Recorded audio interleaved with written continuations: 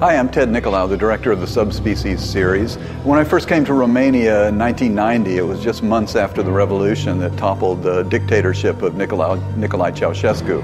And um, the living there was a very Twilight Zone experience for me and for the cast. And uh, in order to keep myself from going insane, every night I would write down the experiences of the day. It ended up being a very thick journal containing uh, thoughts and experiences of every day from pre-production to the last day of shooting. And here on the Full Moon website, we're going to give you a taste of that journal every week.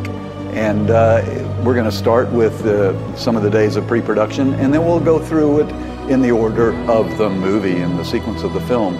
And you'll be able to see behind the scenes of actors, Anis, uh, Laura Tate, Michelle McBride, all of the great actors that helped us bring the film to reality.